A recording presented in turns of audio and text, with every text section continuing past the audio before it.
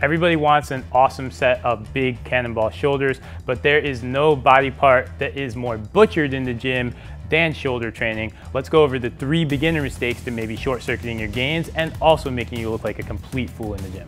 Mistake number one, you are arching your back on the military press. So the military press works our shoulders and any overhead press works our shoulders when we are driving up, but the more we start to arch back, the more this becomes more of an incline press exercise and it starts to focus on the chest and take emphasis off of our shoulders. It's also messing up your lower back. So make sure whenever you're doing any of your overhead pressing ideas, whether you're seated, whether you're standing, whatever, we're gonna keep our abs nice and tight, think rib cage down, and from that position, you're gonna do your overhead presses. Issue number two, you are shrugging when you're doing your lateral raises. So the lateral raises are a great exercise to hit the outer head of our shoulders, but once we start to shrug upwards, our traps take the emphasis away from our shoulders and we're not getting the work we want.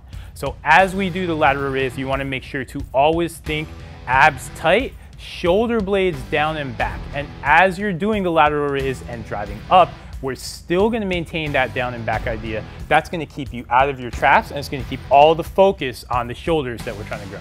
And the biggest mistake you're making in your shoulder training, you're just doing too much shoulder training, period. The shoulders are a small muscle group and they're a muscle group that's involved in just about everything you're doing in the gym.